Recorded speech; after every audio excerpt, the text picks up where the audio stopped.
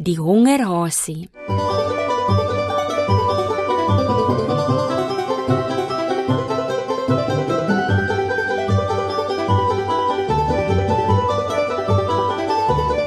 Daar was eenmal 'n hasie wat altyd, altyd honger was.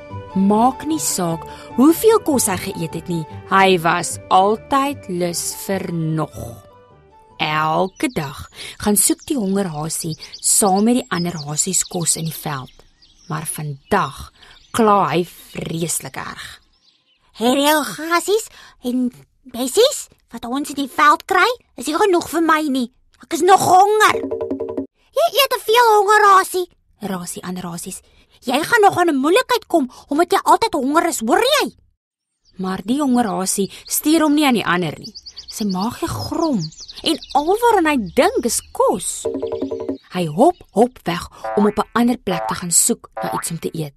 Hy wip onder deur die heining en bo oor die polle en na ruk kom hy by 'n groot plaashek.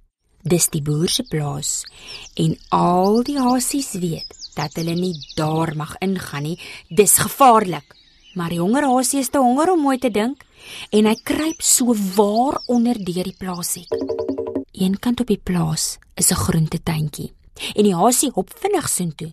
Daar is 'n draadheining om die tuintjie gespan, maar die hongerhasie kry 'n gat net groot genoeg vir hom om versigtig deur te kruip. Hy wikkel totdat hy binnekant is en dan rek sy oogies groot want voor hom is die wonderlikste lekkernye. Daar is rye en rye wortels in die grond geplant en kool en radyse en beet.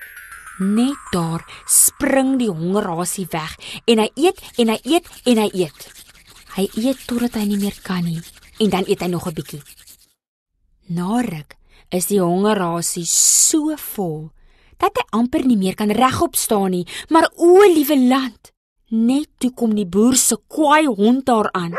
Hy die hasie geruik en nou blaf hy gevaarlik by die groentetuin se draad.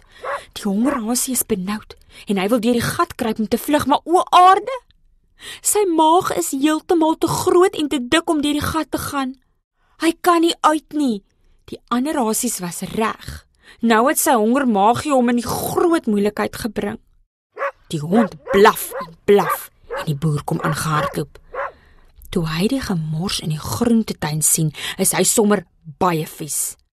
Maar net toe kom die boer se seentjie daaraan en tel die vethasie op. Ag, fooi tog. Dis net 'n hongerhasie, pappa, sê die seentjie. moet hom nie seermaak nie. En raai bietjie wat gebeur toe met die hongerhasie? Die boer se seentjie vat hom vir sy troeteldiertjie. Van daardie dag af het hy elke dag soveel soetwortels en ander eetgoed gekry soos wat hy wou hê. En hy was nooit weer honger nie. En niemand het omgegee dat sy maagie so bietjie te groot was nie.